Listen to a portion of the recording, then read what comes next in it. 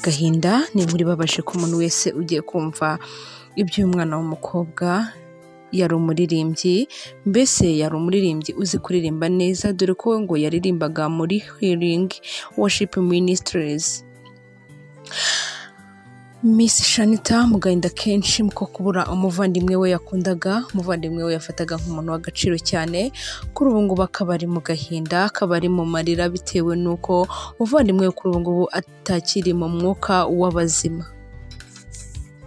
Miss Shanita wegukanye ikamba rya Miss African bibiri na makumyabiri na rimwe ari mu gahinda gakomeye k'urupfu rw'umuvandimwe we Tony Wanjye wari usanzwe ari wari usanzwe ari n'umuririmbyi muri Healing Worship Ministries.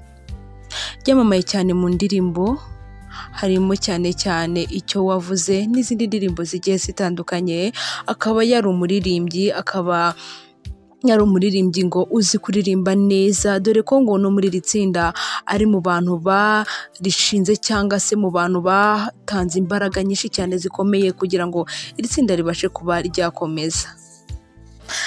Ese wakibaza ngo uyu mwana w'umukobwa yapfuye azize iki? Ese yari arwaye? Ese ni iki cyatumye urupfu rwe rutunguranye?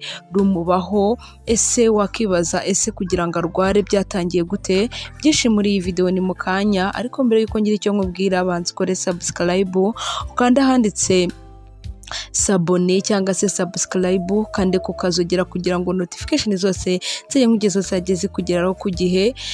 Umenya ibitekerezo by'uko wifuza ko nazajya nkugezaho ibiganiro umunsi ku munsi. Perezida wa healing worship ministries yahoze yitwa healing worship team muhoza budete kibonke yabwiye inyarwanda ko bamenye urupfu rw'uyu mwana w'umukobwa tony yahagana isaa tanu z'ijoro kuri tariki eshatu ugushyira isaa tanu zuzuye ni bwo bababwiye ko uyu mwana w'umukobwa ashizemo umwuka. Agira ati twamenye amakuru y'uko nyine ashizemo umwuka cyangwa se yitabye imana agana saa tanu z'ijoro batubwira ko nyine yaba yamaze kuba yakitaba imana. Kibonke yavuze ko imyaka ibaye itanu yari amaranye na tonia yari umuririmbyi mwiza muri healing worship ministries kandi ko bakoranye neza cyane cyane ko cyane cyane ko ngo umwanya we yawuhariraga gusenga ikindi ngo akawuharira kwiga cyane kuko ngo yari umwana ukunda kwiga yari umwana ukunda amasomo cyane ndetse akabiha n'umwanya wo kuba yasenga dore ko ngo yari umukristo cyane kuko yubahaga imana. Yagize ati yari umuririmbyi mwiza cyane ushaka kumenya imana. Ariko akazitirwa n'amasomo dore ko yakundaga kwiga cyane. Numva mu minsi ishize ari bwo yasoje amashuri ariko mu by'ukuri tubabajwe n'urupfu rwe rutunguye rutunguranye abantu benshi kuko uyu mwana yitangaga yari umwana uzi icyo gukora kandi yari umwana ukunda amasomo ye cyane.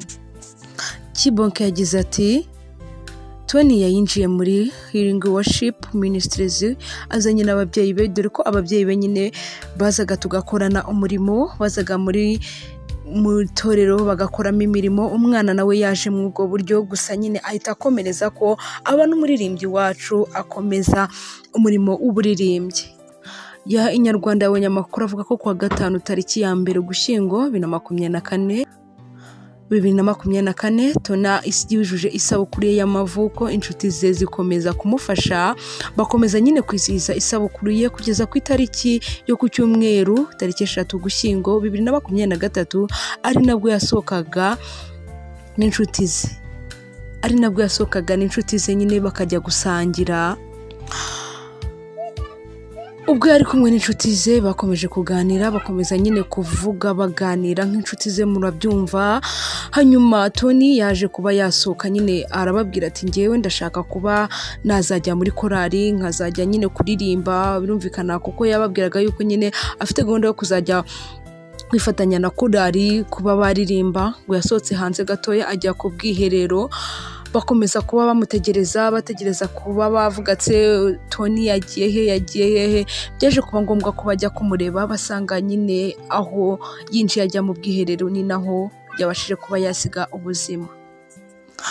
N'ubwo buryo umwana w'umukobwa yatashyemo n'ubwo buryo bubabaje yagiyemo dukomeza kwihanganisha imiryango yabuze uyu mwana. Kandi ni ukwihangana muri iyi si nta kundi twabigenza.